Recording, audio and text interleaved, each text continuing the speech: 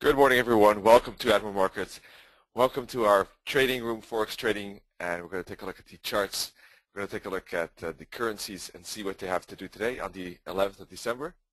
First of all, as always, though, we're going to take a look at the PowerPoint and explain, first of all, the risk disclaimer, and uh, that explains that trading foreign exchange, just like any global financial markets or products, is considered high risk and may not be suitable for all investors please seek the advice of an independent financial advisor for more information on that. And this webinar is for educational purposes only. So thank you for your attention on that. We're going to be taking a look at this Forex trading with uh, the following steps. We want to define the trend. Even if you're trading against it, we, we still want to know if there's a trend, and if so, which direction. Then we want to look for the opportunity. That could be uh, uh, different from, uh, depending of course on the strategies and the theme of the day. I'm not sure what today's theme is. I woke up a bit later than usual in fact. Somehow my telephone battery died during the night and the alarm clock didn't uh, ring somehow so it was a bit strange, but we're going to be taking a, a, look at filters, of course, because you want to check if there's anything that could block the trade from developing. If you're, for example, trading with the trend, you don't want to trade it if there's uh, a lot of divergence. Then you might, uh, of course, see good clues for reversals. So then you want to avoid the with the trend trades, for example. Then you want to establish a trigger. What is the, what kind of thing are you looking for on the charts that could make you want to uh, to buy? Is it a certain price level? Is it a certain fib? that's the trigger. It doesn't necessarily mean you have to enter at that specific spot because you can still uh, vary that with the different entry methods. For example, the trigger might be a fib, but you might be looking for a candlestick pattern at the fib before really entering. So with that said, let's head over to, first of all, the, uh, the calendar. And we'll do that right now.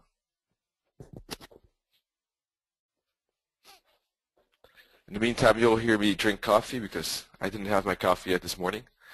And I always have one in the morning. So as I said, I uh, was a bit later than usual. So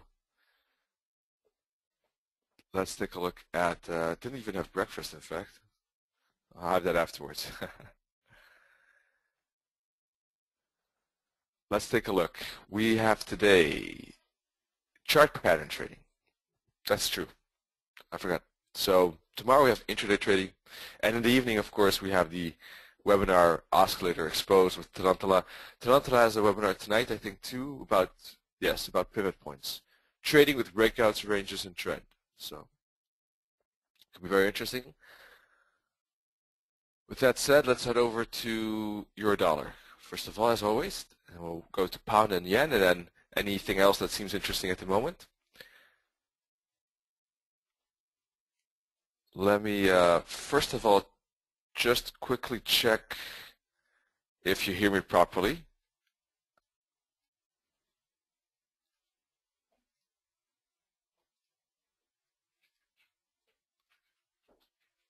Okay, cool.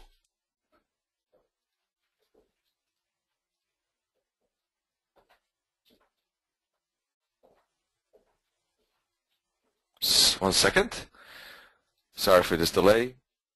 Euro dollar, in any case, uh, somehow I cannot, very annoying, I cannot, uh, I, where are these?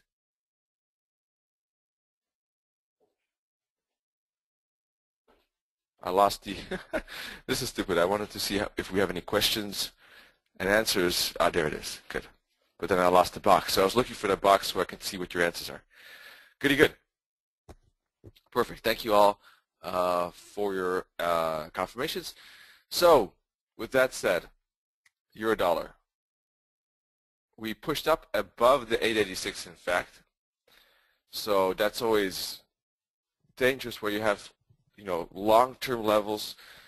Most cases they work, but sometimes the short-term pressure kind of like pushes the, the price through those levels. And that was that's what happened uh, yesterday. In fact, we had a the uh, bull flag here, and uh, that bull flag broke to the upside for continuation. So if we then take a look, let me just open, ah, good. I thought it didn't have my drawing to open, but I do in fact. Good. This bull flag, that's what I meant. We had a break of that. So that is a bit surprising in a way because the 886 fib would think it has more effect. But the fact that we did break through the 886 fib actually shows that, okay, we stopped at the 886 fib, but boys and girls, the banks are saying probably that uh, that is not the reversal.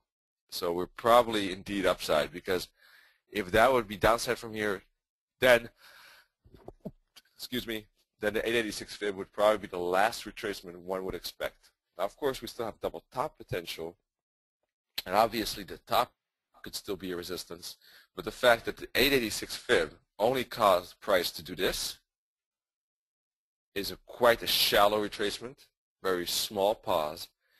That means the the, the, the financial world saw the 886 fib, but decided that it's not really that important. You don't, oh, do you, you do not see my drawing? I draw two green lines on the chart now.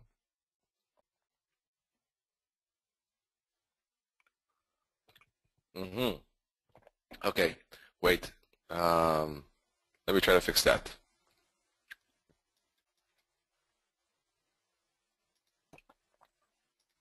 Ah, it's paused. Okay, somehow.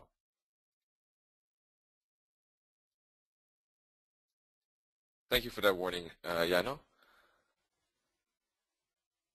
Yes, good. So at 886 at the green line, at the trend line too, because if you if you if we put look at the weekly chart, we can see we could put a trend line like this. Obviously, there's a, a small wick here outside. That's okay, I think.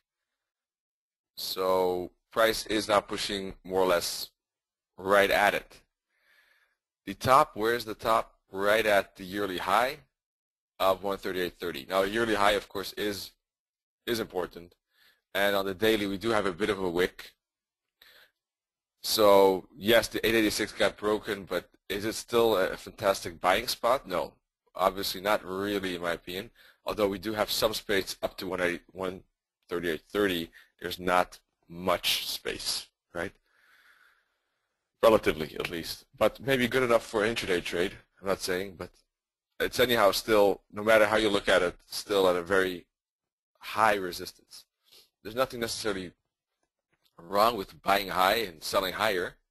That's when we make a profit, in fact. But in this case, when we buy high and selling higher is risky because there's a very big resistance, then the chances of that succeeding, of course, are uh, decreasing. We take a look at the four-hour chart now.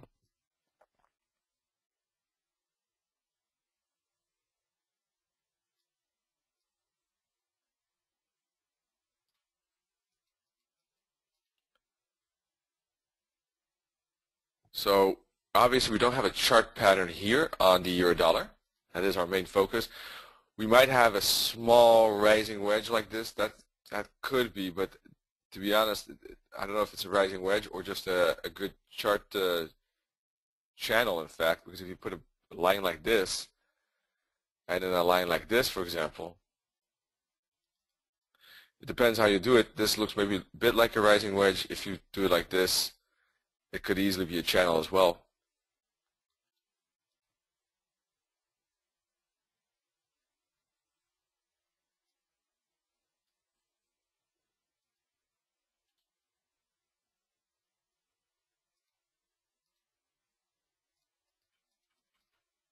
I'm going to take a look at the moving averages.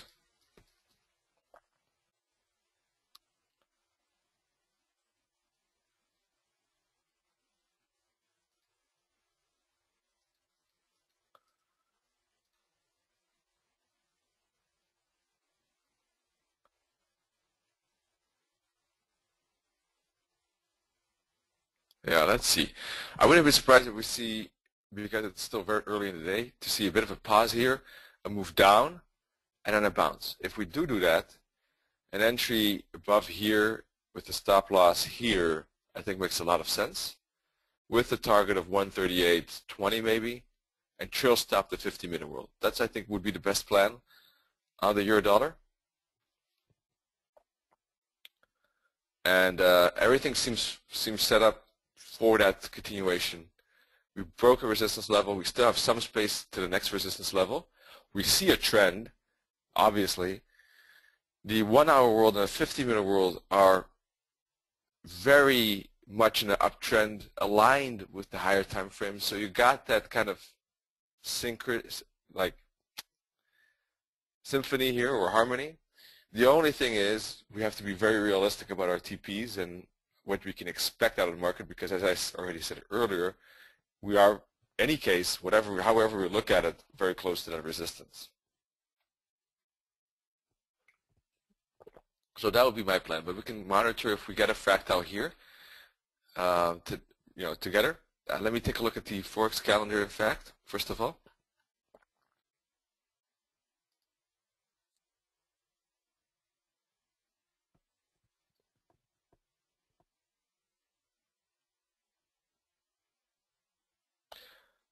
Greek unemployment rate today in two hours.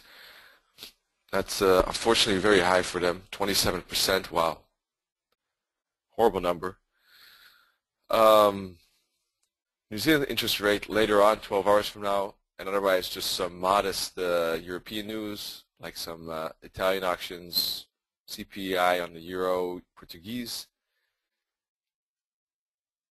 and some light dollar news like crude oil inventory. So nothing major today that could affect the market, let me say this way. So that's my plan on the euro. Let's keep an eye on that. The pound dollar.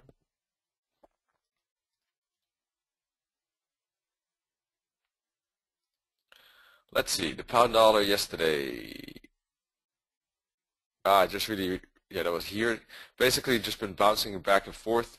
We are talking about the fact that it could bounce off a 382 fib yesterday that uh, didn't really happen. It missed it by a bit. Here that made a double bottom and has been oscillating between these lines. So we do have a bit of a chart pattern here. That's uh, in a way a, a, potential wedge, or it is a wedge. Let's see which way it breaks out. If it breaks out to the downside, uh, that is currently counter trend. If it breaks to the upside, that is with the trend. Um, now, obviously, the with the trend scenario is a lot easier to trade. We can expect uh, price to move to our target a bit faster and probably have more space to our target, uh, to a target. The fib, I would say, is uh, limiting some downside potential because I wouldn't be surprised if the 38.2 access support. And you know, even a, an entry order there wouldn't be strange in my opinion. If an entry order is not, you know, if we can always monitor it live. If you're looking at the charts anyhow, you we can keep an eye on it. If we see some interesting 15-minute bounce off the 382, then we can wait for a hook back and attempt a long for the uh, on this pound dollar. If price action just blasts and go, which I don't expect, but it could, and then it goes stops a bit at the 50, makes a bear flag, that who knows, maybe make more downside, but that's still kind of trend. And I wouldn't necessarily expect the 382 not to provide some, or the 50 to provide some support. So that's why a, a short upon the break of the chart pattern wouldn't make, uh, I mean, it's possible. I'm not saying it isn't, but I know many traders that would, would trade this wedge both ways, so I don't want to limit one's vision here or necessarily say it's, it's a bad trade. Um, it isn't, but it's just my psychological view that is always looking with the trend. So I'm so geared towards that that you know if I see something counter trend like that, that I kind of like automatically dismiss it. Um, but I know a lot of traders that would trade this chart pattern both ways. Um, depends on your own experience um, whether you want to do that or not, I guess you know, sometimes these, these reversals go a lot further and we don't get the bounce here, for example. But I have, for me, it's okay because I have the patience to say, okay, it didn't happen. I, I was planning that trade. I took it. I didn't took it. If I didn't took it, of course, it's even better. And uh, I'll wait for a new setup. If you're trading the pound dollar day in, day out, then you probably wouldn't, you know, want to be so patient with certain opportunities maybe.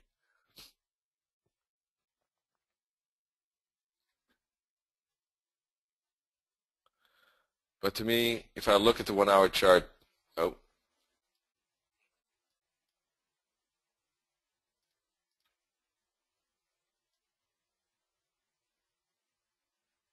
if I look at the one-hour chart, this oscillator is very strong here recently, and uh, could be a bit weaker than than this one here, but still, it looks to me, unless we really break uh, these bottoms here, to be honest, this looks like a very good impulse here, and I wouldn't expect a lower downside than the 50 fib. If we break the 50 fib, we're also breaking these tops, which I would expect should act as support. Break those tops, then uh, we could still we could still see a bounce at the long-term moving average, but I wouldn't expect. Um, let me say this way: then the analysis does change a bit. I would have to reanalyze it because then maybe this is just one move up and we're doing something differently. So anything above here is definitely bullish. Anything below is kind of neutral in my opinion. And below the bottom would become uh, more bearish, something like that. Obviously, if we move down and hook back like this and then start to break, then uh, we can easily, it's definitely possible to take that uh, bear flag break to the downside. Then things have changed, and we might have some head and shoulders here or something like that going on that uh, could aid that. At the moment, it's too early, in my opinion. So, still bullish.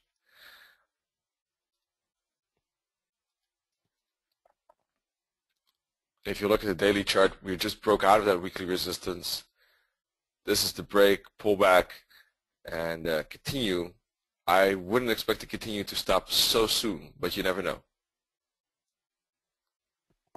Let's take a look at the yen. The yen is correcting, made a uh, smaller double top here, right in front of daily resistance, as we know. The daily resistance causing the currency to stop once and twice, and now currency is moving back to the bottom of the channel. As we were saying yesterday, the price has difficulties with breaking through resistance like that and will probably most likely retrace. And I had even this purple line here to say if it breaks below there, there's a good chance we'll retrace lower, although that was counter trend. That's what we've been doing, in fact, and we're moving down towards the bottom of the trend channel. The bottom of the trend channel and the bottom here support both bouncing spots for more upside potentially. Same story as yesterday. This is the one hour chart.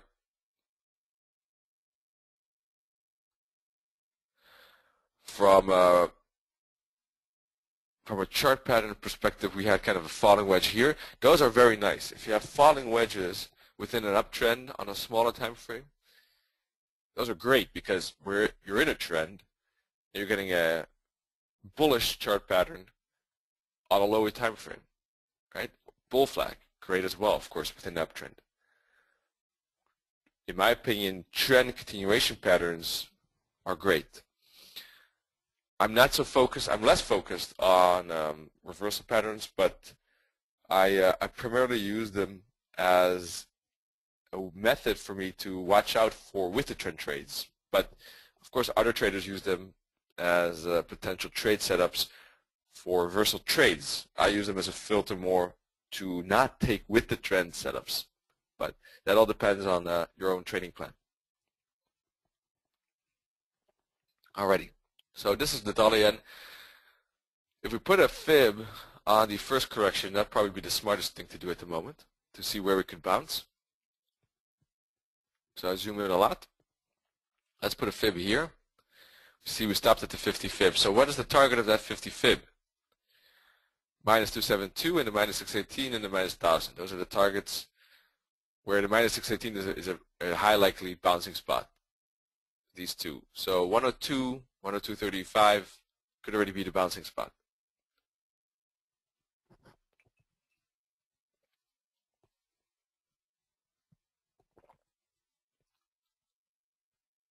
That, uh, that is a likely area of, uh, of a bounce.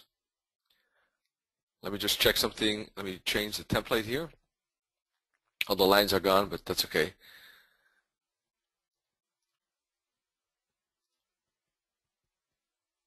Yeah, so that's all I wanted to see is that if you look at the one hours perspective, we do have a down move here.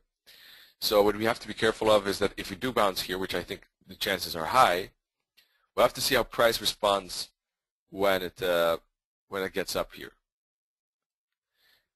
Do we make a bull flag after that? We'll probably continue higher. If price actually goes up, but kind of like in a more weaker fashion, and we get a fractal underneath the band here, then we'll maybe see more downside, in fact, to retest this, this bottom. So we'll have to see how price responds when it gets here, if we get that, or if we get this kind of movement. And that's how, you know, as, as uh, price progresses, we get more information and we can judge better which of the two scenarios becomes more likely. Right? It's like a, it's like a decision tree. At the moment, the most clear clear to me is a bounce here or here.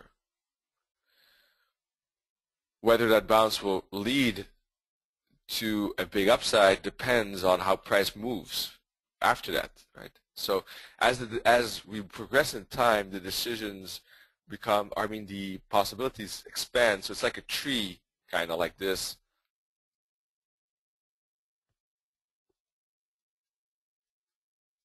You know, and, as you progress through time, there are more op, op, like possibilities. And eventually, it doesn't make sense to to look so far ahead because there are too many things to look at. It's a bit like chess, right? One player plays this, then the other player plays that, and then the player plays that. So if you're player one, you're thinking like, if I do that, then he does that, then I do that, and he does that. You can do that for a while, but most people give up after a few uh, a few rounds because, or you know, at some point in time, depending of course how much you play chess, because you just it doesn't make sense to think that much ahead, right? In a, in a way, I mean, of course, top chess players probably think ahead a lot of time, uh, very deeply, but I'm not saying. But uh, but anyhow, I just wanted to make that comparison to uh, to this decision tree. So that's the dollar yen. Any questions on the uh, majors, maybe, or do you have a, a preference for any of the um, uh, other currencies? Personally, I, as I said, I really didn't have any time to pre-scan it in the market. So I don't really know. I don't have any favorite list at the moment. I was uh, only able to finish the Elliott wave count this morning, and that's it.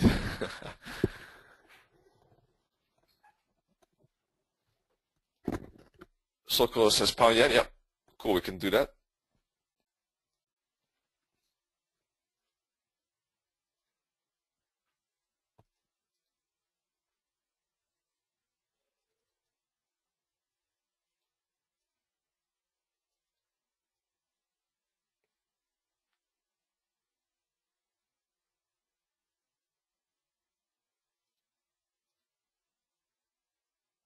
Alrighty.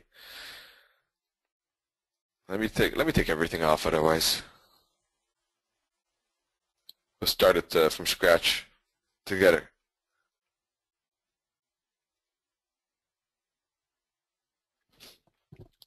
Weekly chart. Well, if we look at uh, the weekly, obviously, such a tremendous impulse. I mean, it's just it's quite fascinating, uh, and it's just amazing to see how this is so trending.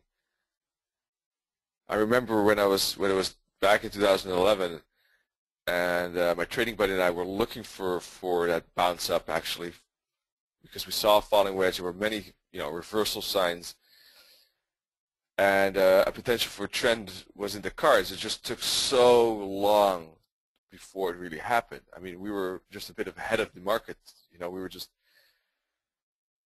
already saw this happening, but it just took so long to play out, and we were just, you know, get a bit impatient if you if you see something that could be that grand, and it, just takes time.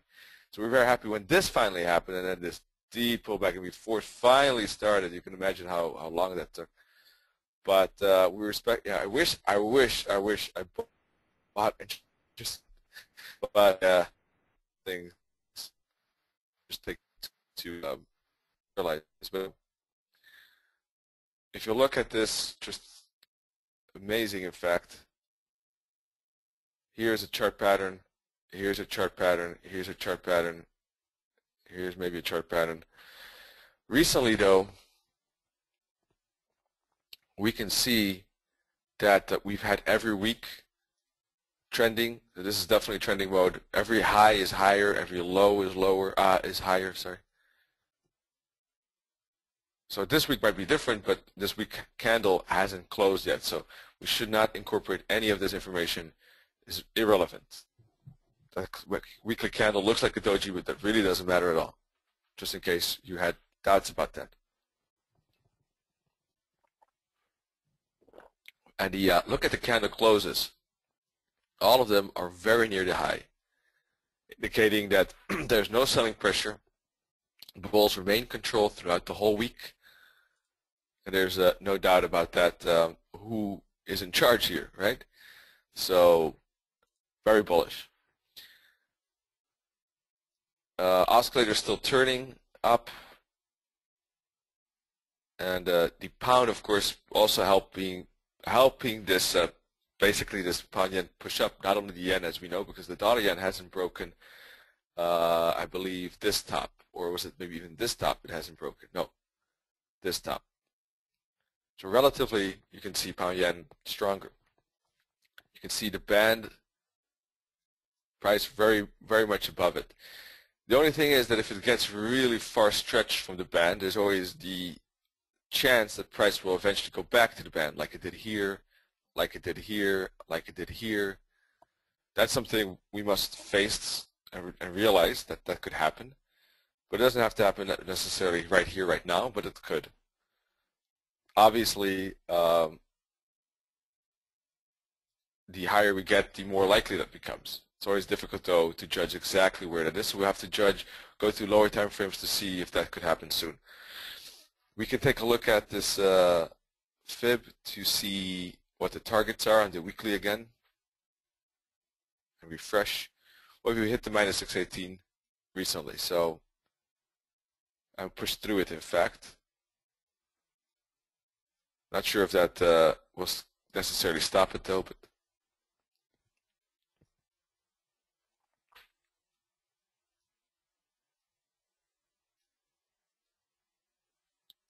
So yeah, obviously if we hit so many targets, I mean, if we progress so fast, we will hit some targets. This is the monthly. We are at long-term uh, moving average, but we can easily poke through that. I'm not saying I wouldn't necessarily hold my breath for uh, the fact that it could stop right there. You see you could poke through it easily.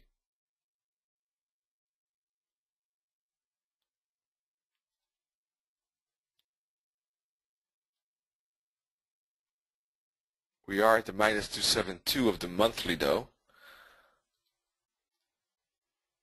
But no clear resistance here on the left. This was just a major fall and uh, there's no clear bottom that could act as resistance.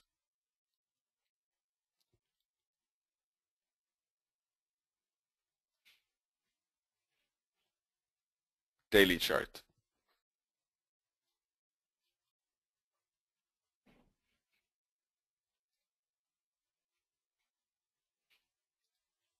Oh, wow. That's a pretty strong fall indeed and looking at that fall, uh, I wouldn't be surprised to uh, that this is uh, more impulsive, in fact, because this is a quite a, a, burst indeed. Now, measuring momentum counter trend is always tricky because it could easily be a ABC, and sometimes waves C are impulsive. that could be misleading as well, but yeah, this is one of those times where a counter trend break, as I said, I don't like it, but there are definitely traders who trade it both ways. Wouldn't be doing too bad indeed now.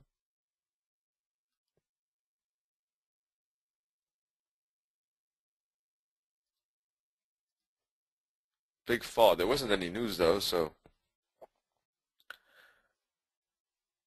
quite funny.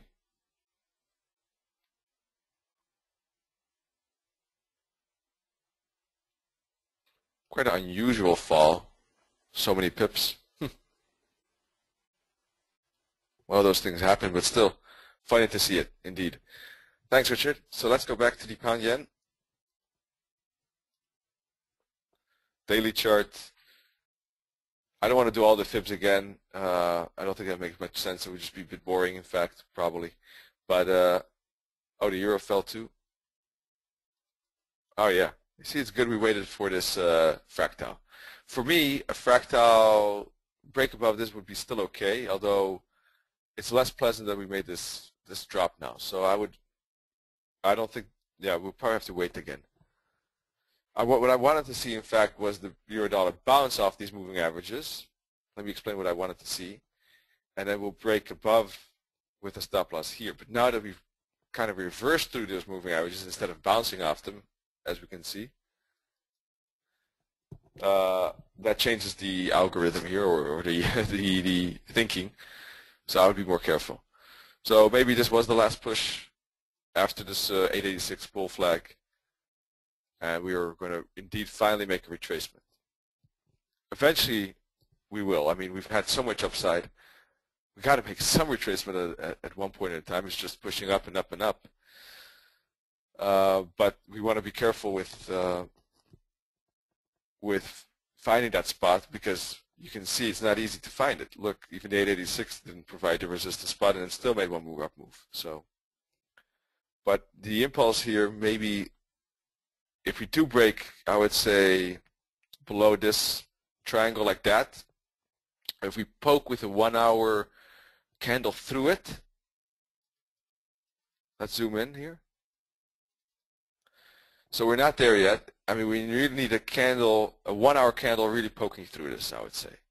If there's a good bearish candle, one-hour candle, with a decent size, close near the low, you'll see the moving averages flip down like that. Then you might see like two smaller one-hour candles like this. Then I wouldn't be surprised to see the reversal happening indeed. Some downside at least. But at this moment, I think it's still too early. Want to want to see a poke through these these bands, basically.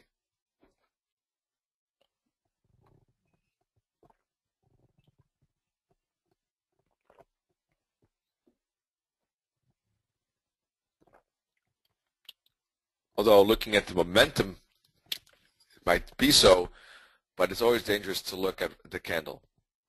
Never forget that. So we have to look at 50-minute world really because the one hour isn't closed.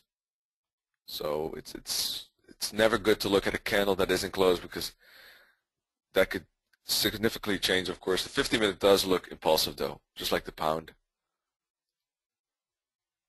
But as I said, this is still a very short-term time frame. So let's take a look. One hour chart. It would be good to look at the pound dollar too and the one hour candle.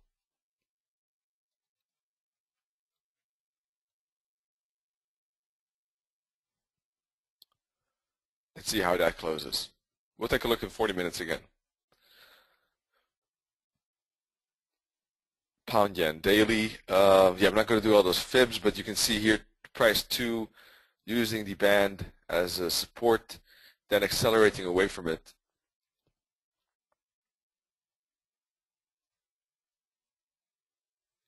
For a chart, we have divergence between the tops, which means that there is a potential for price to go back to the long-term moving averages. That potential uh, is kind of more confirmed when price breaks through the band. Mind you, here we didn't have any divergence. So this poke through the band is still a retracement. and not a move to the moving averages. That's the difference. I hope that's clear. Only when there's divergence and then we have a poke through the band is there a pretty good chance we can go to the long-term moving averages. If something like this happens,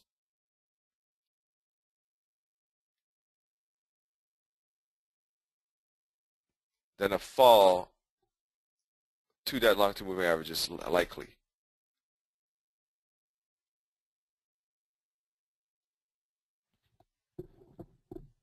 A poke, what I'm showing here is a, a poke through the band, a weak retracement up, and continuation. If you do trade a reversal, reversals,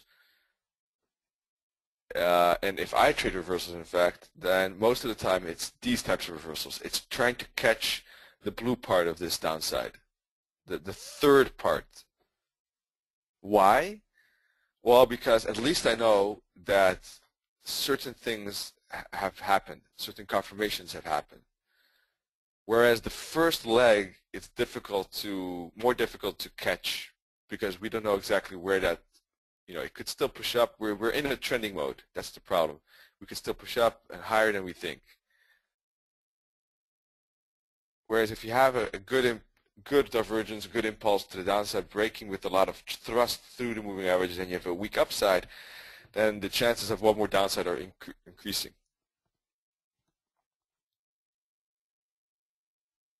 So let's see, we're close to it. We'll see how price, if price can push through the band or not.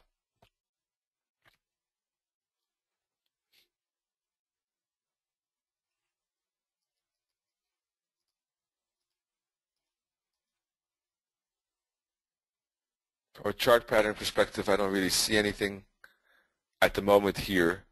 This is just an impulse. We did have maybe a small triangle here, right? But that's all the past.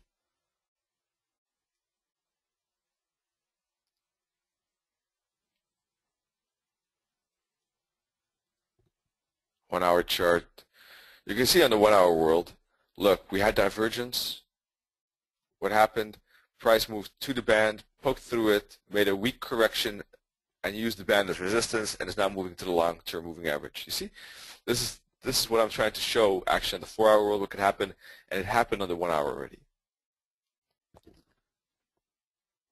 Impulse poking divergence, impulse poking through the band, hook back to the band, therefore band not support but resistance, bouncing back to the moving average. Classical reversal.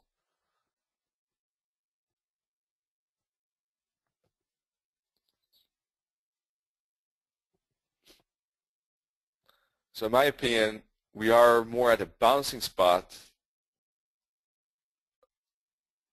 here or here, but probably the bounce will be mild, and I would expect one more downside after that. The thing is, though, because we're in uptrend, you never know, and it could also be not the blue-red scenario, but we could get something like this.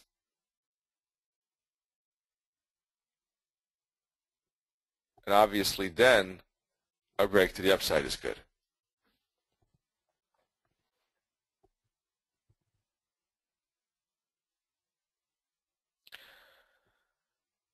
So personally, from this perspective, I would say a buy sooner or later would be uh, would make most sense, but uh, at these targets.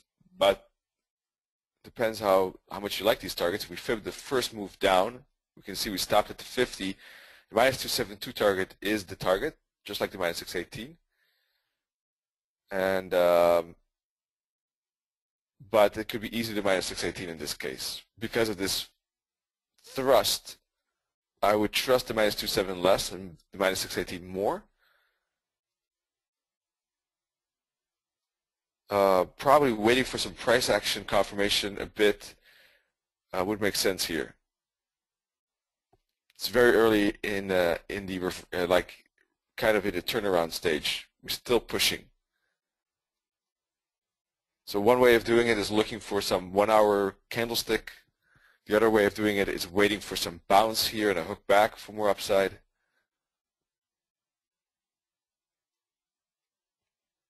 Other ways doing it is waiting for a bounce, hook back, and break above the fractal effect.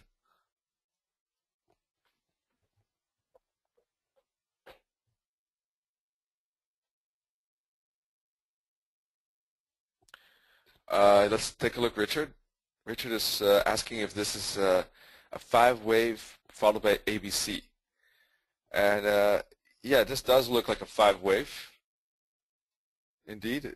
Well, it's actually very, it's, it's actually difficult to find. I mean, we can see five waves in this upside, but it has moved so impulsively that uh, it almost looks like just one straight arrow. You know what I mean? But yes, you could detect five waves like this, like that. It is possible, definitely. And within the third wave, we see five waves. And with yeah, and within the five, fifth wave, we even see five waves. So very impulsive indeed. This could be an ABC back. That's one of the scenarios. And then we could see that bounce to the upside. Or we see, depending if we get a weak correction, we could see one more correction down. Therefore, indeed, a long sometime soon definitely makes sense in a way. If we put a fib on the upside here, it's just that we have four-hour divergence, which we want to be careful of. That's why. Then we can see a 50 fib and a minus 618 pretty close to each other.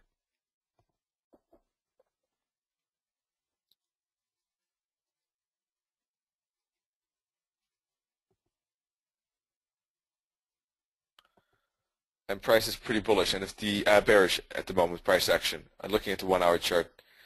So then you want to be careful. You don't want to we don't want to cut ourselves with this fall. Yeah, yeah Bruin you just as as uh, as uh, kind of like an expression you you stole the words out of my mouth. Because I just wanted to say but good thinking uh, from your side is that uh, if the pound is, is we'll have to take a look at the pound too how this thing is uh, developing because um, you know that definitely will influence that pound yen of course. So that's a good thing to definitely link. Absolutely. The yen too is moving down so there could be some more bearish pressure um, on this pound yen.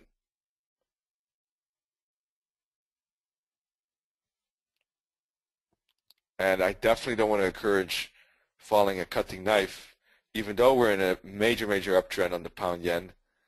Um, still want to be careful with with that potential bouncing area.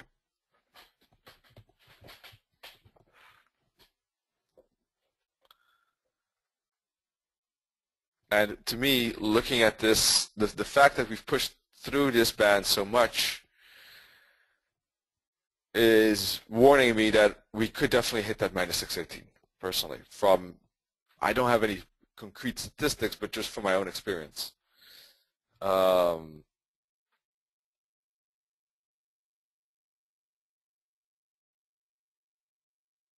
let's see. WAFO I wanted to write you this morning but as I said I unfortunately overslept. But definitely first uh, no after after this I still have meeting. After that, I'm writing you for sure because I wanted, I found your email um, interesting. I wanted to um, tell you something about that, but that's will be a few hours from now for sure. And kind of reversals due to the year-end profit taking. Yeah, definitely because the question is, can the reversals lead to year-end profit taking? And uh, definitely the end of the year, you will see um, different behavior, I think. Definitely a quarter end as well, of course. Not sure if year end. I think there could be some year end profit taking as well. I mean, for big, big players, they want to probably book their profit before the year end indeed, not have that floating. That makes a lot of sense. I mean, personally, I don't do that because I don't have these massive positions open that are, you know, months open, but I'm sure there are some um, players out there that uh, would like to close that before the year end. Makes a lot of sense to me.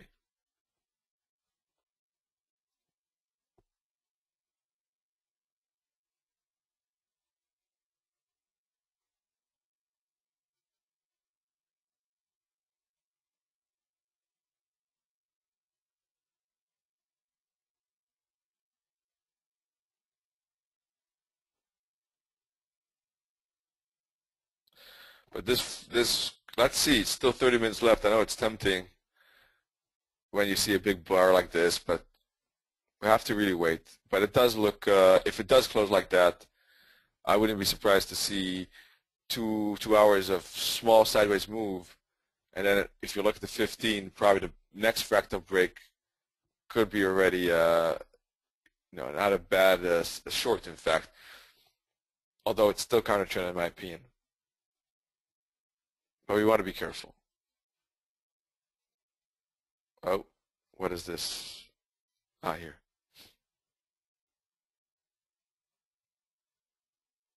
Want to be careful because because of the big trend to the under pound. Let's face it, there could easily be still one more push up.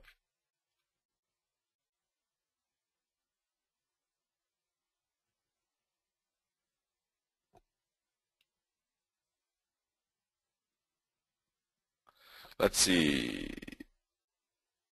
Bottom of triangle. Uh, yeah, could be, could be good. Uh, trading when when you have a strong trend like this, the only problem is that sometimes the resistance here is less is more vulnerable. That's the only thing. Um, so what I would like to I mean, the only thing that really would matter to me is how price moves up as well. Um, looking at this bar, as I said, it, it, does look very bearish, but I want to be careful with that, obviously. That's the only thing. But who knows? Maybe, maybe that is this was the very last push. I'm not saying.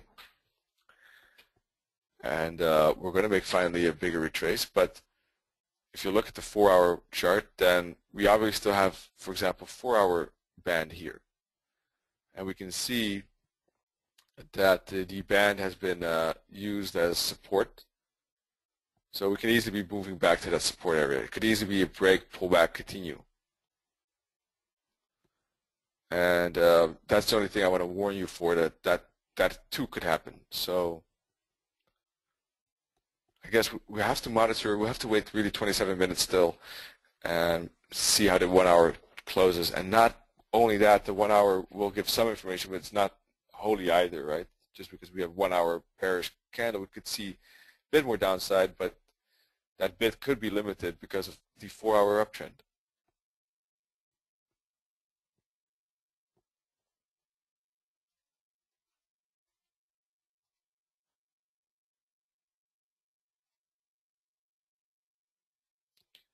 One thing, though, differently from this upside uh, was that uh, the upside here and here made sense. Here, of course, it was different because we had a weekly resistance. Here it made sense again because we broke it. And here it made sense because we had a good chart pattern. And still here it makes sense in my opinion because this looks like a hook back. So, but we do have divergence. That's the only thing. Potential divergence there.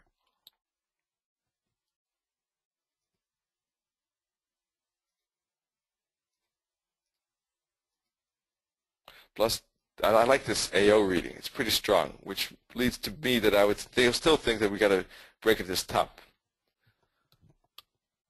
up to 165.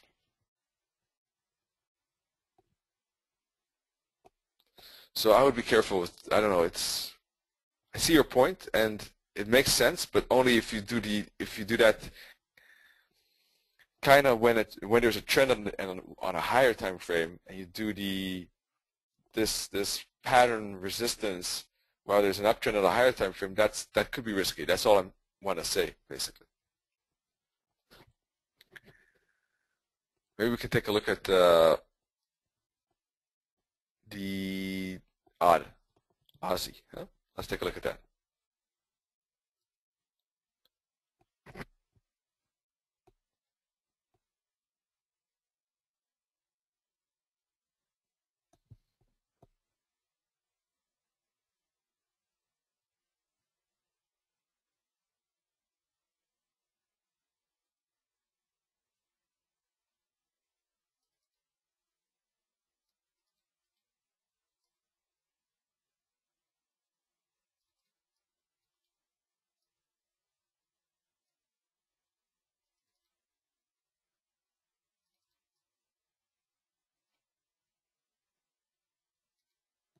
Let's see. Yeah, yesterday we had a break of this triangle.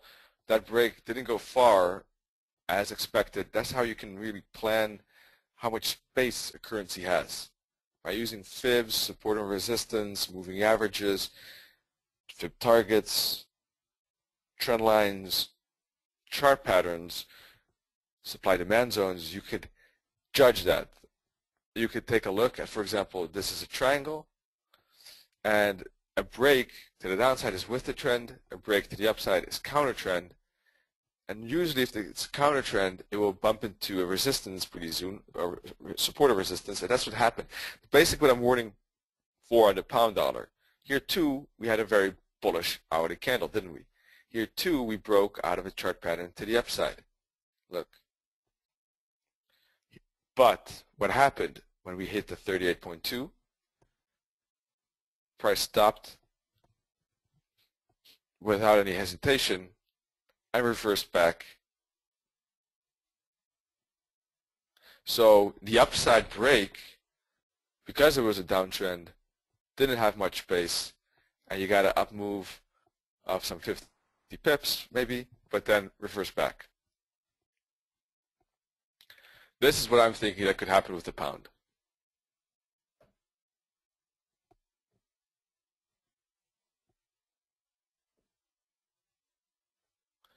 So in the meantime, we're back to uh, the trend line. We're probably going to bounce off that trend line. And then either break or maybe indeed still more upside. We have to take a look at the long-term um, the uh, long-term uh, uh, uh setup here structure to determine that. 382 is pretty shallow, but it definitely could fit within the current environment. Then again, if you look at the uh, four-hour chart, our band is flat, price is above that band. So one more upside maybe to the 50 fib to the long-term moving averages is possible because if you look, we have divergence between the bottoms here, which means our target is the long-term moving averages, but not always do we get there. Price came pretty close. It's at the top of this downtrend channel, so I would say either way is possible still. A break to the downside is is good, but we probably want to see a break and a small bear flag, and the next break is probably the best, to be honest. Or if we do break above blue, we can see some small upside to the 50 fib, and then we should see a move down again.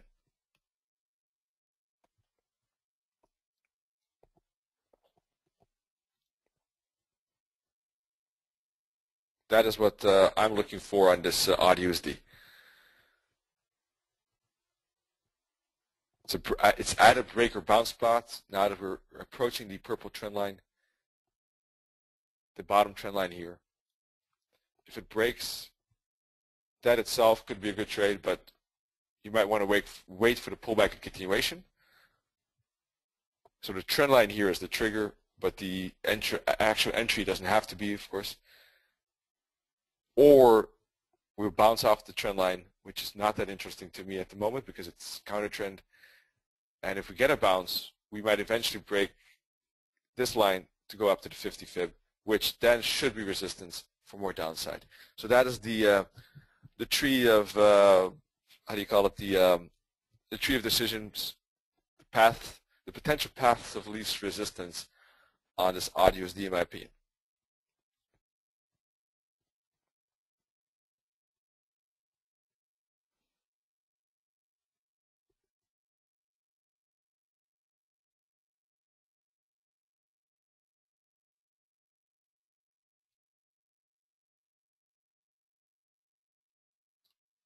Alrighty.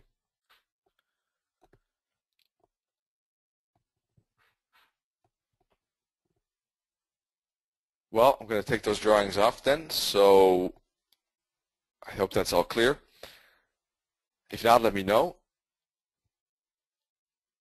Let's take a look at, uh, let me take a look quickly still, maybe the one-hour chart.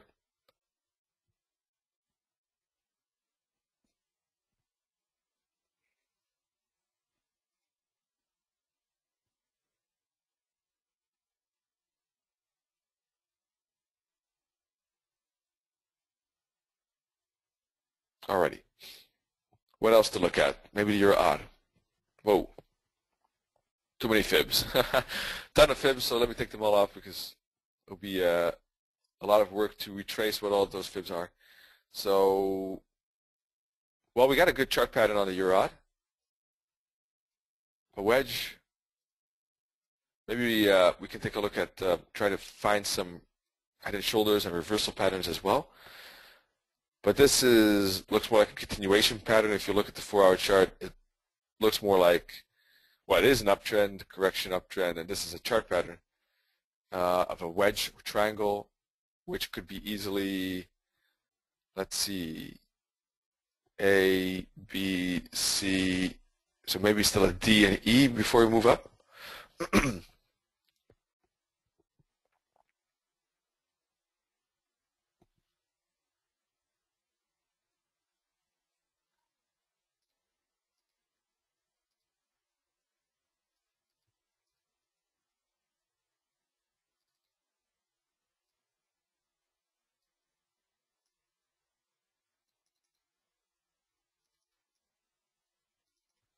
Pretty funky movement, in fact, this uh, on a 50-minute world. If you look uh, at uh, the NFP reaction, up, down, very volatile there. Um, these spikes here.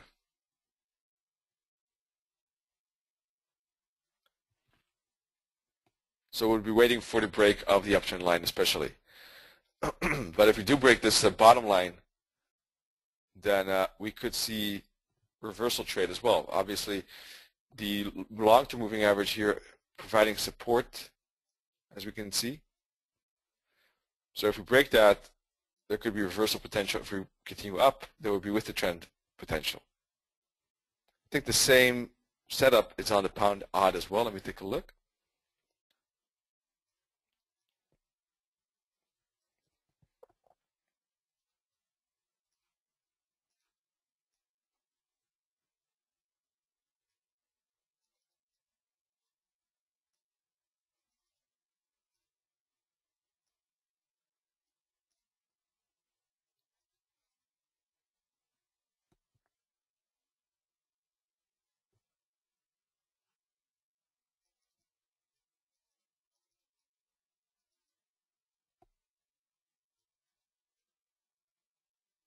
Kind of a similar kind of triangle. It just looks a bit different, that's all.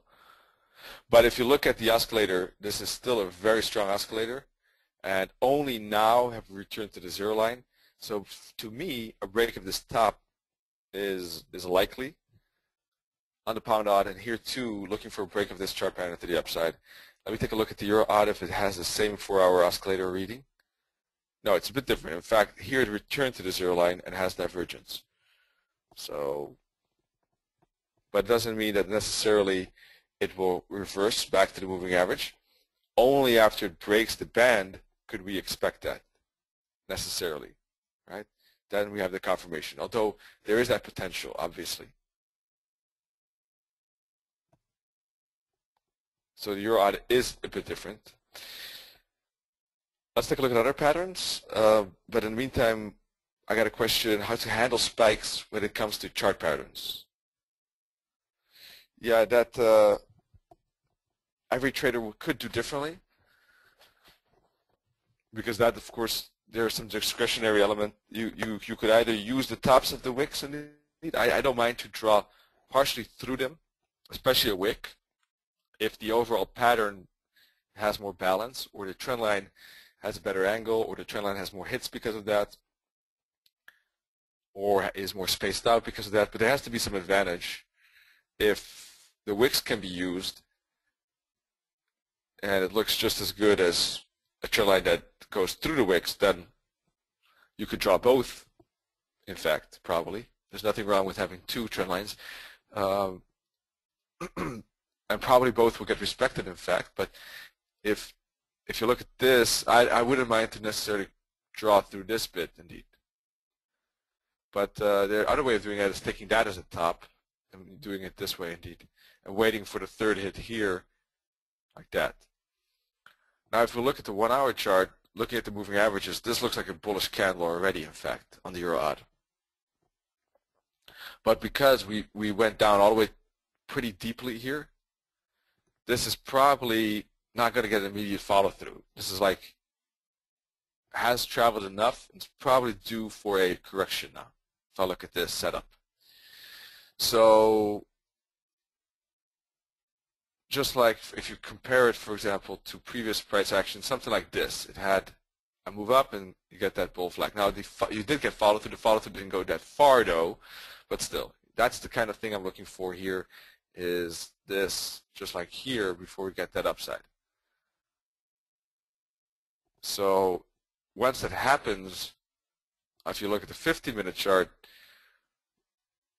the next break of a 50-minute fractal could already be a be a good one. In fact, despite this trend line, because it only has two hits, this trend line. Maybe more important is just the horizontal level. In fact.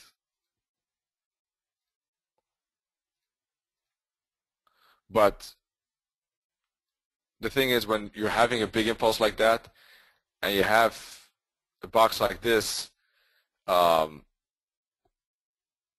it's you would like to trade it with the trend, but it is difficult sometimes if the correction is so flat because the horizontal resistance is close by as well. That's why corrections that are a bit steeper is easier because if you break a trend line, you still have more space up to the next resistance, which makes it easier. Sorry, I took that pattern a bit, sorry, I took that drawing maybe a bit too soon away. What I meant is that if you have something steeper like this, not that steep, but something like this, here I'll draw it again, then you have, when you break, look at the green arrow, you can see more space up to the top.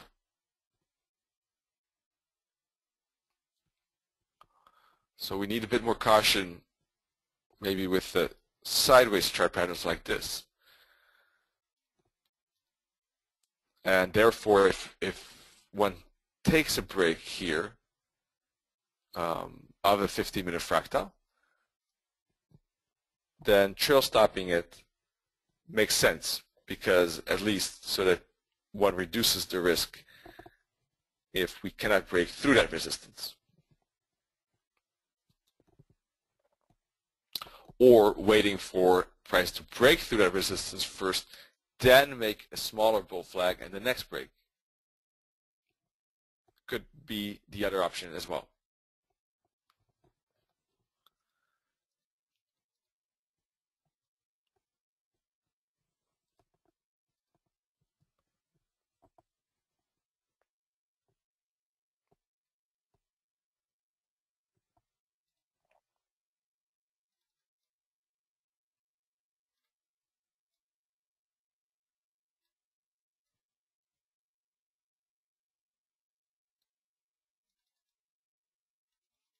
AUD yen is very looking very funny with this massive correction, and uh, that correction is uh, is not easy to uh, to define in a way because it has so many ups and downs.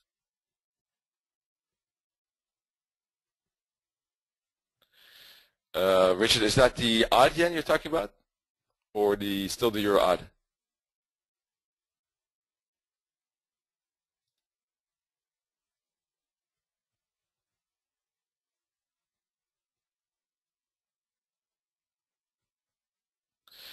If it's the euro AUD, sometimes indeed chart patterns like that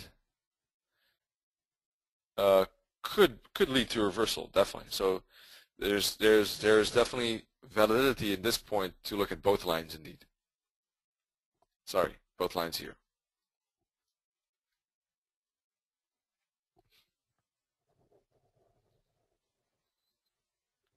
But in more cases, they, they are continuations, but definitely not all maybe 70-30.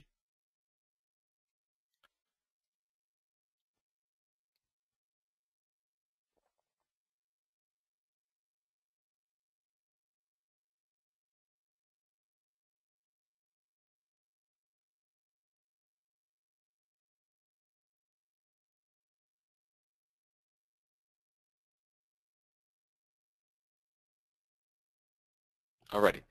Let's see. Any? Let me hunt for some chart patterns maybe that uh, could be interesting. I would say if, if, if, for example, if the New Zealand pushes up here, then we could see a potential for a head and shoulders here as well, for example, right? If we push up like that already, that could, that could happen. But that still uh, needs some time probably.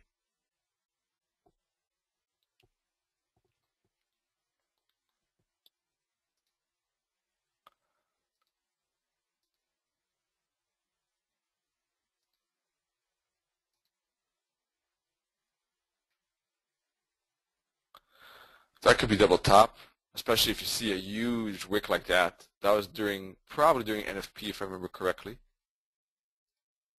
Yes. That's a pretty uh that's that usually will see some follow through for downside. Stopped at the minus 272, went up to the 50, down to the minus 272. Looks like we can go to the minus 618, I would say.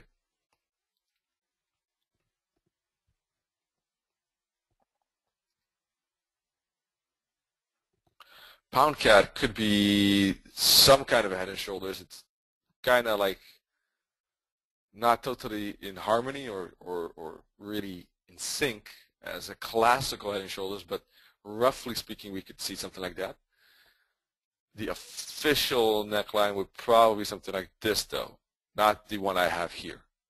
Although we were looking yesterday and saying a break of that could lead to downside. That, that's indeed what's happening kind of had a rising wedge here as well, if you look at it from a chart pattern perspective.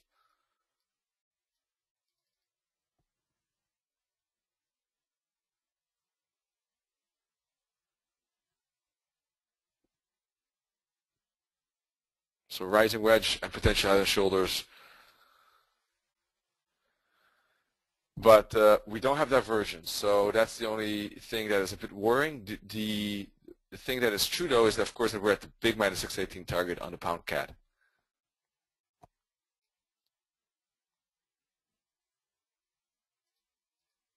Let's take a look at gold one-hour chart.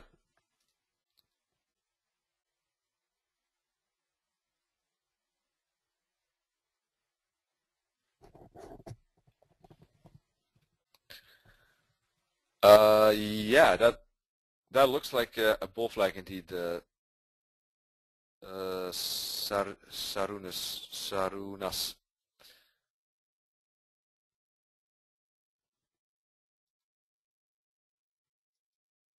does. It, uh, I, I, remember we were looking at this and saying we're at a, a resistance spot, but price maintaining and remaining bullish, price action pushing through the resistance with a very, very big impulse indeed. Um, I'm not sure at this stage still. Yes, it is a bull flag. Um, I'm just trying to contemplate whether uh, whether it is indeed a something we could uh, act upon, in my opinion. This was a big impulse this was a pretty big price action signal. From that point of view, indeed, this break maybe not too surprising. Didn't think about it that way because this was pretty bullish. This was pretty bullish during NF, NFP. So maybe some follow through on that is actually logical. Like uh, some other examples we've shown today. But at the moment, yes, it is a bull flag.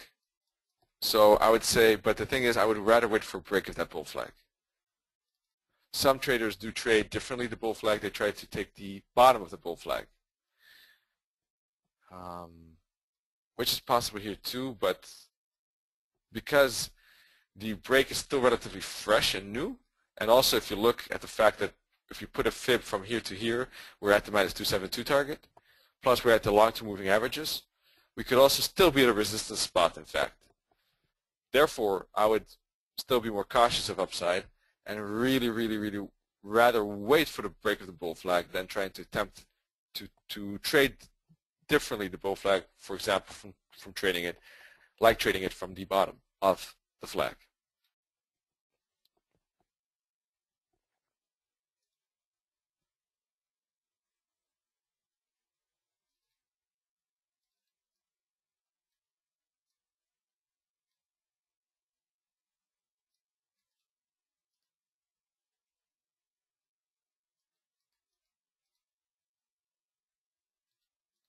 Let me just check some other perspectives here.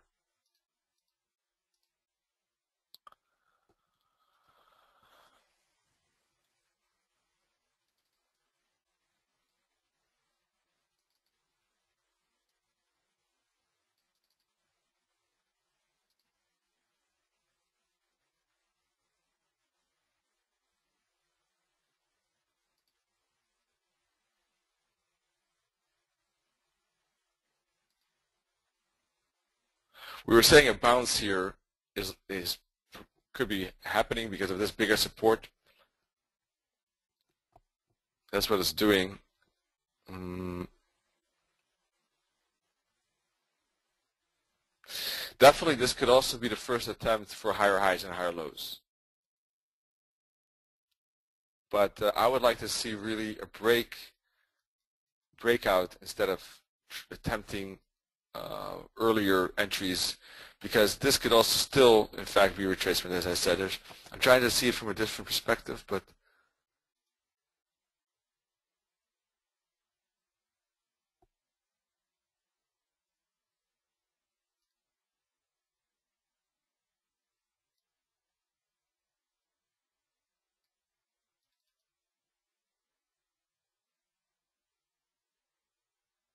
Let me put this fib on, for example. Kind of stopped at the 618. So we're, we're at a, I would say we're pretty much at a decision point, though. A break above this, then we're starting to uh, definitely build an uptrend. If we don't break above here and we move down, then we could still be actually, a breakout trade to the downside could occur, and this was just a retracement. So I would be wait, waiting mode, basically, uh, for one of the two. Kiwi, let's take a look at that. I, I think I already looked at it. Ah, yeah, but only just briefly indeed. I'm saying that this could be an head and shoulders potential on the New Zealand dollar, one hour chart. We would need a bounce here though, and the neckline would be this double bottom. Put the uh, green line there at the double bottom, right there, and uh, I'll put a red line at the potential head and shoulders spot. So if we see some upside like that, and this could become a head and shoulders for maybe more downside like that. In the meantime, though, we are in an uptrend channel, as we said yesterday, and what happened since yesterday? Well, yeah, we had a bit of upside, but then back down to the same level. So nothing much happened, in fact. Four-hour chart, attempted to break above this green line, but failed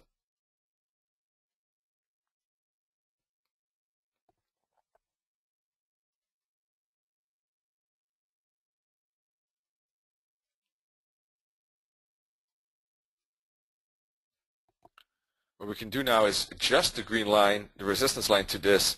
If we do break above that, there's no head and shoulders, and that will probably go and test these tops then. Is that a wide open space? Not really, but there would be some pips on the intraday time level from 83.20 to 84-ish.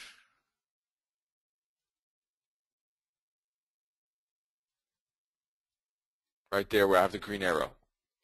If we do have a head and shoulders, uh, it could be interesting attempt to short maybe at the head and shoulders level with a very small stop loss and close in reverse almost in a way when it breaks to the upside. But you know that I, am not an expert in trading head and shoulders, so if we break the green line, of course, then we have the confirmation of the trend channel breaking, the purple trend channel, the purple uptrend channel breaking, and the head and shoulders maybe playing out and um, moving potentially to the downside.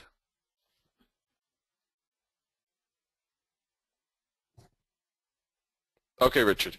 Yeah, I'm sure there are different ways of, of, of putting a trend channel here. Um, I could put it like this, for example, to incorporate more the bottom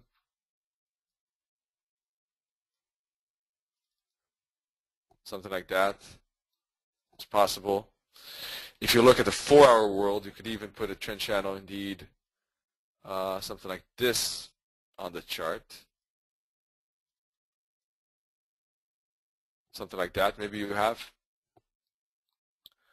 You could even draw it differently. You could draw it as I have these green lines already here, like that.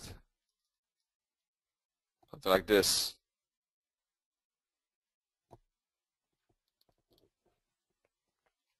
So all in all, I think they probably um, pretty choppy relatively in any case, especially if you look at the day chart.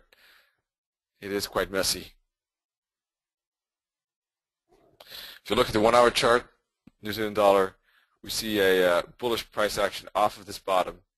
So maybe we'll see in the meantime some upside up to the red line, but it's a very small trade. Plus the, the 50-minute world is definitely moving down a lot. Ah, cool. Let's take a look what Richard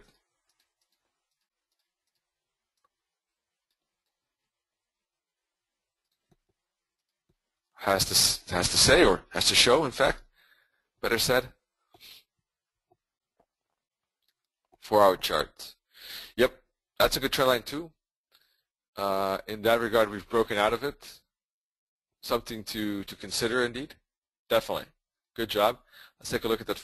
I think it was four hour, wasn't it? Yeah, I adjusted it now like this. But um, let me see how you had it, in fact.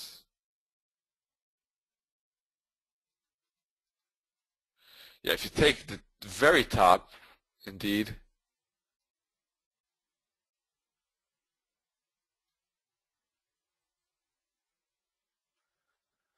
uh, yeah, you, you cut through a bit of this wick. If you place it to the top of the wick, it would just have a slightly different angle, but this, of course, are very detailed details. But um, then it kind of like price is cutting through these this this chart pattern about halfway.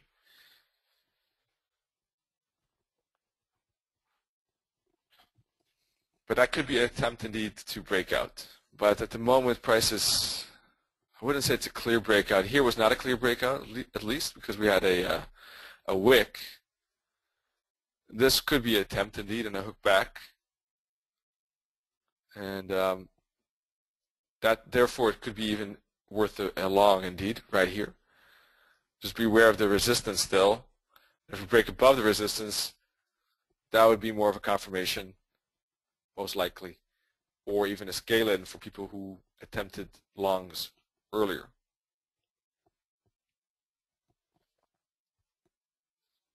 The reason why I took that, uh, by the way, I took this trend line off is because I didn't sense that price. The reason why is that it didn't seem like price kind of respected that line. Um, but that depends from. I mean, it's still valuable information, but if it doesn't respect it that neatly, then I tend to look for something else. But that's not always the best process, by the way. It, it definitely makes sense to. to uh, it could also be uh, very valuable to keep both trend lines on. But often enough, because then there would be too many trend lines on the charts and everything becomes clustered. I uh, I tend to try to minimize the uh, the lines so that it becomes more kind of more viewable in a way to a certain degree. But but good stuff there, Richard. Thanks for that.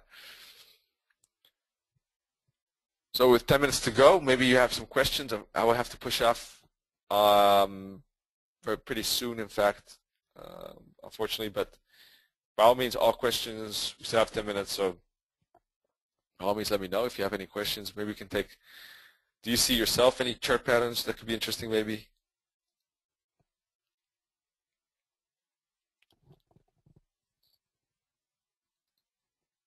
Any questions regarding chart patterns?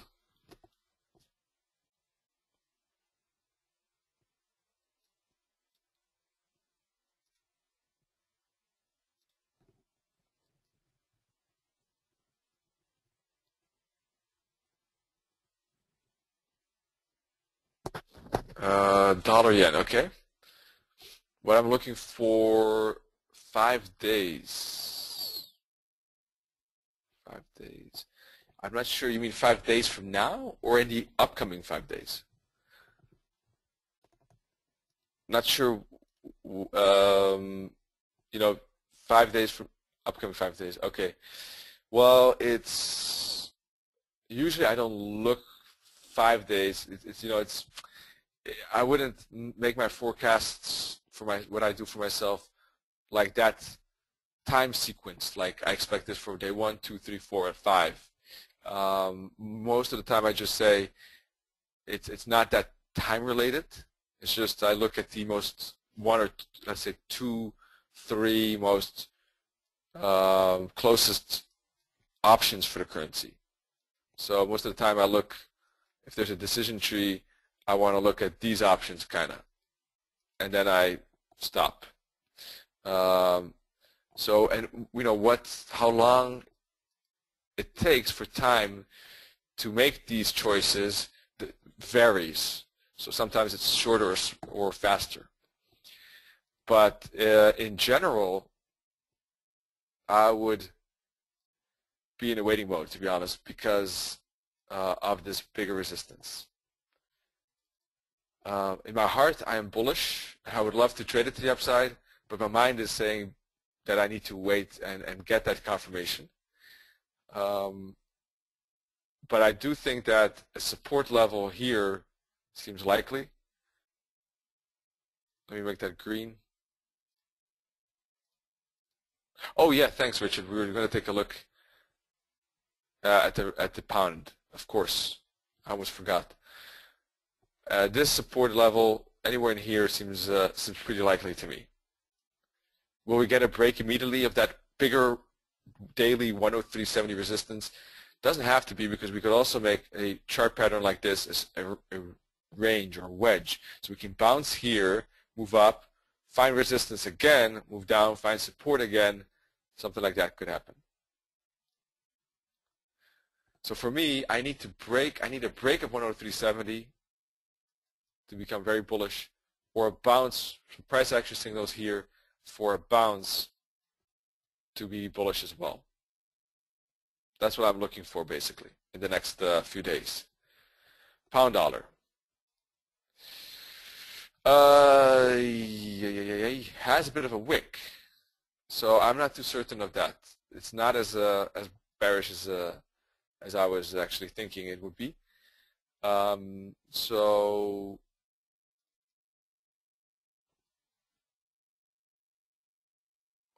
so I would be careful with the shorts. I wouldn't short now. It's, it isn't bearish enough. I know it's a small detail, but it's an important detail for myself at least. Um, this is still flat here if it would have been fully bearish, they would have turned as well. Um, now, that might not be that, that, that important for you, I can imagine, but I've done a lot of testing on that, and for, for me it is. So usually if it does, if you have a bearish candle here like that, it does signal more follow through, uh, even though later on it could turn from, from this level, for example. So I would be careful personally, and probably if we don't if we if we make some chart pattern like that, I would even start looking for uh, an upside potential.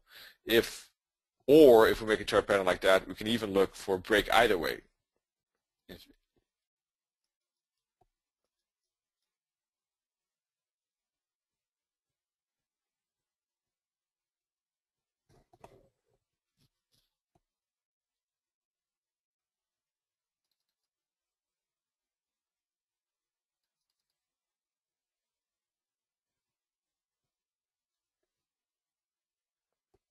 But uh, a short isn't a bad idea, by the way, not necessarily. I mean, from my perspective, because I'm always so focused on the trend, it uh,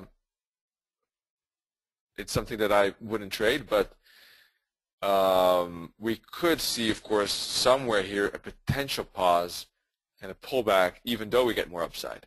But the potential space, to me, seems limited. So I would therefore not be interested. I would only be interested in a downside trade if the one-hour chart really would have been a bearish close, and I see more follow-through at least to, the, to this level, which now doesn't seem as likely as it does or would have been with a bearish candle, so therefore less appealing to me. Also, the what could happen is if we get a very bullish rebound here, it could easily break up like that and then make a bull flag for more upside. And um, a bullish rebound seems more likely now with this wick uh, but also just because of the longer time frames like a four-hour chart and etc. Uh, big oscillator reading, the weekly breakout, all that is bullish.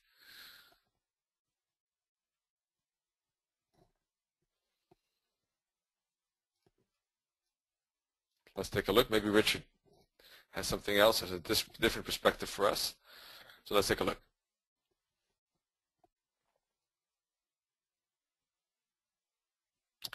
Yeah, yeah, yeah. I, I, I know.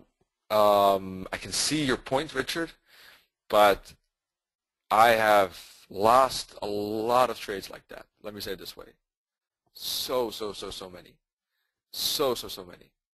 So for me, that, that seems dangerous. I understand the, the logic, though.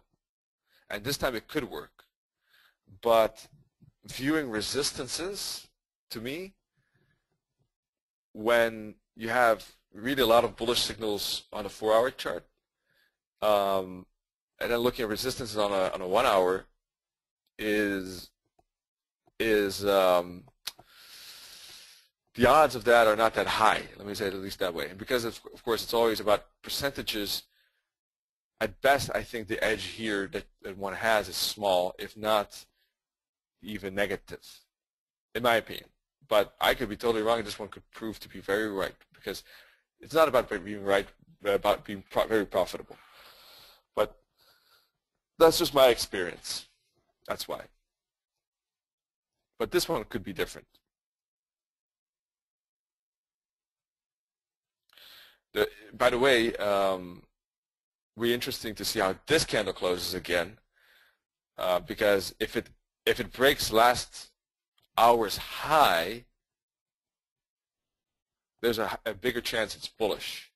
If we get a small doji here and another small doji, well, we can't have a small doji already because price is already halfway. Well, we can have a doji. We can have something like like this still. And then again, a small doji. The chances of bearishness are increasing though. But because of this wick, I know it sounds funny maybe, but because of this wick, I would want to see how this one hour candle behaves. And if we can break last hour's high. If we do, then it looks more bullish. If we can't do that two hours, it looks a bit more bearish. So that would be my view on that. Um, euro dollar is also getting the bearish, uh, bullish rebound, in fact. As I said, we have to wait, we really have to wait for this trend line to break with a full, full bearish candle. Full bearish candle. And we have to wait for a close of the candle because look what kind of wick we have here. It's still a retrace from our upside. And um, not that I had confidence in trading that necessarily, although we can see, unfortunately, that in a way that it would have worked actually decently. But uh, I was more looking for, as a, my primary bread and butter is still uh, actually breakout trades. So for me, a breakout trade would be above this 15-minute fractal um, with the stop loss here. Although I would have uh, liked to have have had the break um, with a shorter stop loss, in fact, somewhere like here. But unfortunately, we retraced deeper before we went up again. Now, if you look at the euro dollar, you can see this is a pretty big wick off of the trendline bounce. A breakout has a good chance, in fact, of uh, getting some pips there up to 138, 138.20. And the very bearish kind of scenario that was unfolding just got kind of like didn't get the follow through and that's why shorting against the trend is so dangerous and waiting for at least that bearish candlestick is, is good. Pound might be different. The euro definitely didn't break support, but pound did break support. That is true. But if you look at it from a wave perspective, that's why I said ABCs, the wave Cs, could be sometimes impulsive on a lower time frame, but on a higher time frame could be just a correction for trend continuation. It will also be interesting to see how this four-hour candle closes. If we get a big wick like that on the four-hour, then it shows support on a pretty big time frame, which also leads to a potential continuation of uptrend. So that will be something very interesting to see also, how that closes um, as well. Plus, don't forget that we said that band is often support. Price is kind of using that as support. So we are on a euro dollar is a bit more clear, I would agree. Pound dollar is a bit more uh, gray area maybe. Um, but so I would be more in a waiting mode. Waiting mode. Let's let's wait a bit more on the pound. Let's wait for a bit more price action during the day to see which of the two could be more likely. We can follow up tomorrow, and you know go through together um, hour by hour. You know how this developed throughout the day. Really interesting.